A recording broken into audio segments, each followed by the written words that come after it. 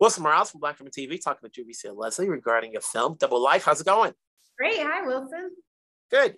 Obviously, it's not that often we see you on film, you know, in such a big role. So, what led to taking on this character? Um, I love thrillers.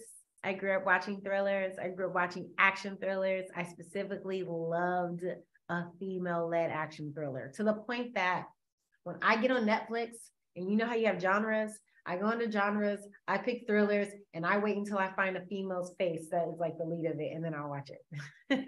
yeah, but this ain't that. It's a thriller. It's not really so much of an action thriller, even though you do your share of things in here without giving any spoilers. So, talking about this character, about this character Jody you're playing, because I, I have questions. yeah, sure. So, um, in my Joe world, I am dating this guy and in love and um, he gets killed and in the midst of him of it being announced that he was killed i find out that he's also married. And so there's like this life that he was living that i didn't even know about. And um, i end up meeting his wife. And we go on this journey of finding out who his killer or killers are and um, it's just like this unlikely friendship that kind of starts to develop and kind of doesn't and then kind of does and then kind of doesn't. So it's really a journey. So my thing is you know in this today's world how is it that joe your character joe doesn't know he's married? I would think these days everybody googles somebody you know looks through their social apps to see who's he I, been with you know or any of that stuff. I don't google anyone. I think like in the last two or three dates I've gone out on, I've never Googled them. And I don't even know if I've asked for their social media. Look, it's just a date, right? But then it's different because they're dating, but maybe he doesn't have IG. And nowadays, that's a good way to keep secrets. Just say you don't have Instagram. but the guy is a DA. yeah. Yeah, but you know, so that. that's that's a little bit more different than obviously some regular Joe. If it's a regular Joe, you don't need to know. But you would like to think that if it's a DA, you know, anybody a public figure is well known to know. You know, it's a public figure. You would know what their background is all about. You know what's interesting, Wilson? I don't Google people. I don't know if it's because of what I do, and I, you know what I mean. Like, I don't think to Google people. I think I've never. I don't know that I've ever really actually Googled any guy. So it mm-hmm. doesn't surprise me that in my Joe life, I didn't Google him to see that he was or wasn't married. You know what I mean? And then usually when you are a public figure and you're Googling the person, the first set of links are going to be the work that he does. So even if I did Google him, I'm sure it will be cases that I see. They're not going to be, this is his life. They're going to be, these are the cases that he's fought, that he's won, that he's lost. Okay.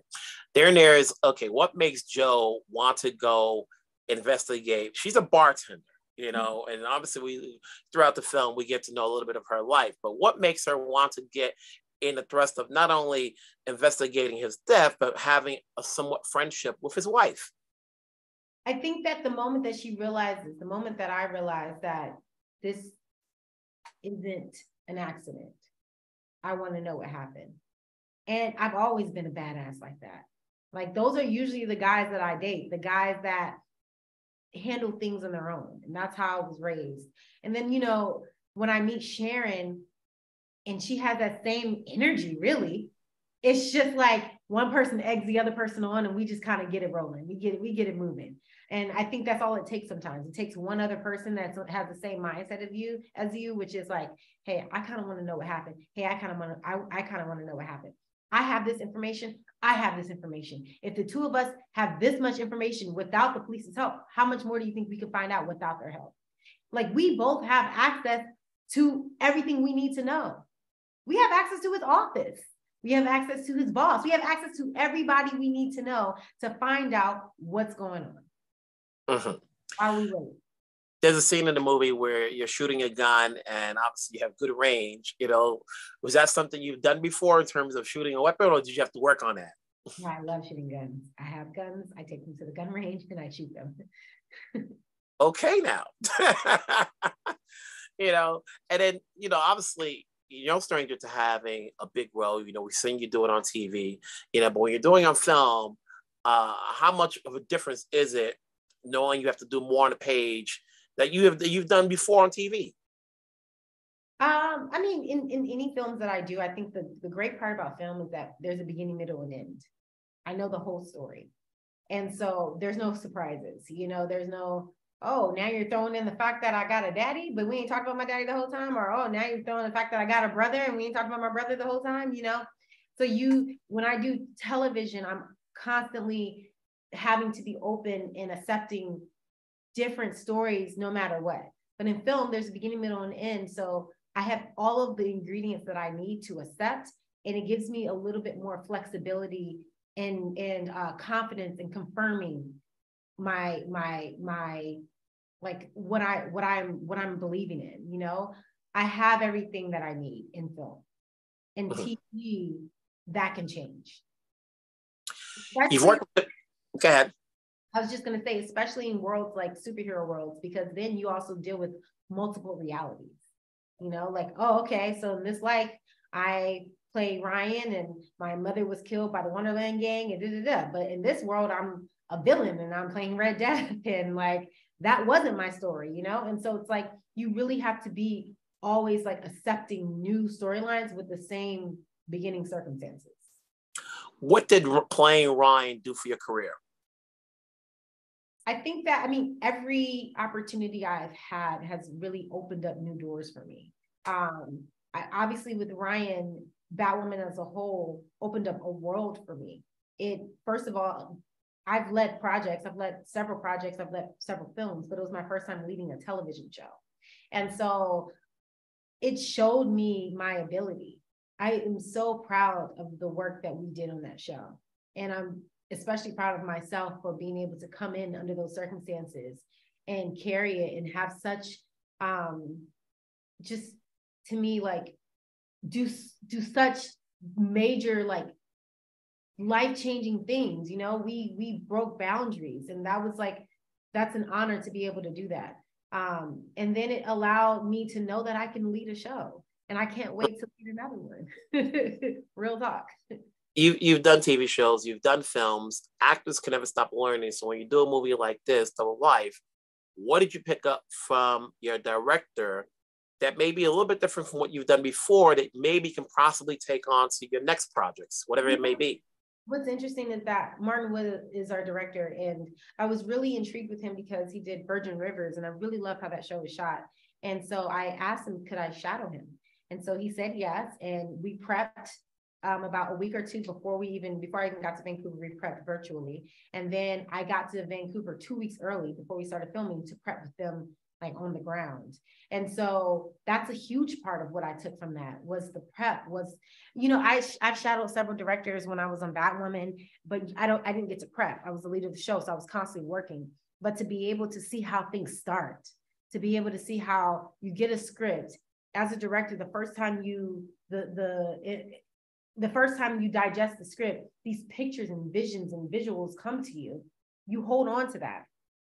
So that way, when it's time to go into, okay, this is how I see this and this is how I see that, you already have this vision board. You have it in your head, but you also should draw it out. But you already have this vision board of how you see your film going from beginning, middle, and end. That way, when you start to bring in your your your um your DP and you bring in props and you bring in bring in HMU, you know your basis and so everyone else is just going to heighten the story.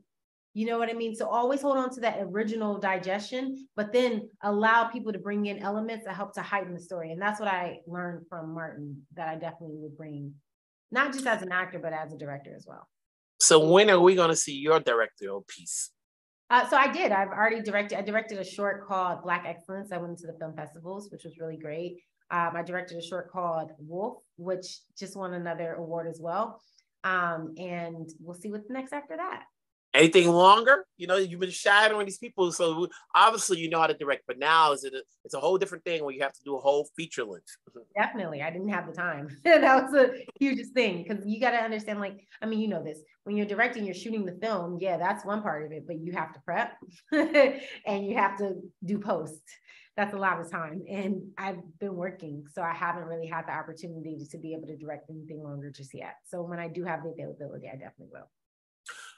What goes into saying yes to any of the projects you take? Is it the role, the story, the time frame, as you just mentioned, of when you can do it. Hmm. There's a lot of elements. I think like, okay, well, when am I available? So I know that I don't start shooting this project until then. I have three months. This could work. This works in my time frame. Uh, where is this filming? I don't know how many times I'm going to say yes to Vancouver anymore. I'm ready to see other parts of the world. Um, and then um, what is the story? I think that what's important to me is what am I fighting for in this story?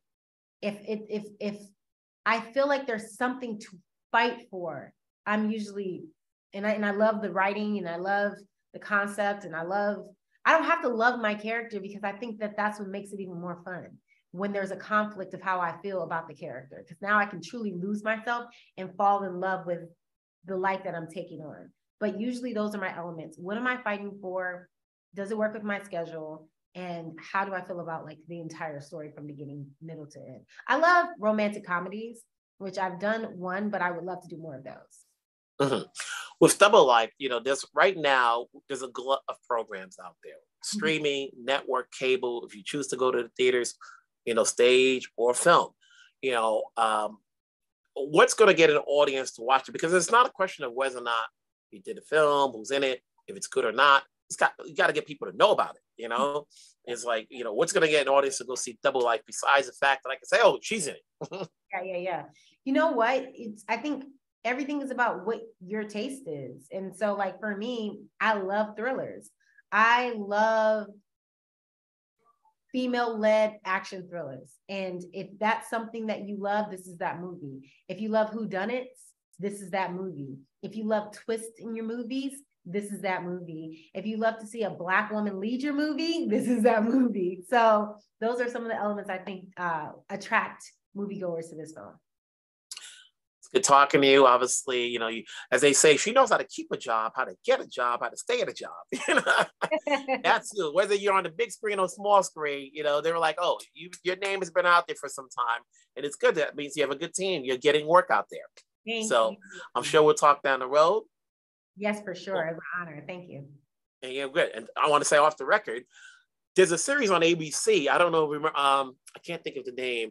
Where it's uh, it's two ladies and they they got together because one was having the affair with the husband, and then he got killed. Is the one with Ryan Phillippe? Big is it Big Country? I think it is. Oh, um, Big Sky, Big Sky, yeah, Big Sky, uh-huh, uh-huh. Big Skies. You know, you remember the premise of it. You know, yeah, the black woman on it. Mm-hmm. The black woman was having an affair with Ryan Phillippe, and then he gets killed. So she teams up with his wife yes. to try to investigate what was going on. Yes, yes. I I watched the pilot episode of that. Such a good show. Yeah. Yes.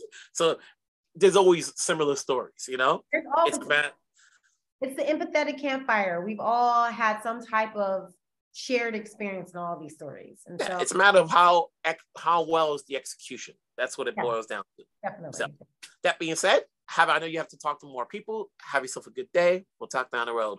Thank you, Wilson. Have a good one. Bye.